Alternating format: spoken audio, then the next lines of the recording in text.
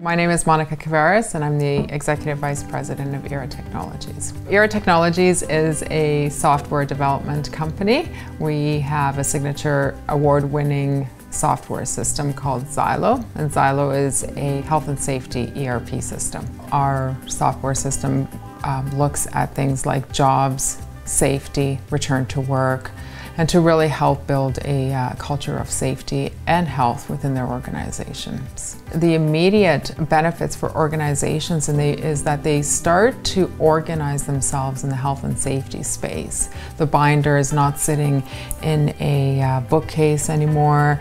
Um, information is available to, or, to their employees and what they start to feel is that they take control over their health and safety programs. Um, employees are, are feel better about the culture of the organization and they, and they start to see productivity go up and they start to see injury rates go down and they start to really see a culture of safety developing in organizations.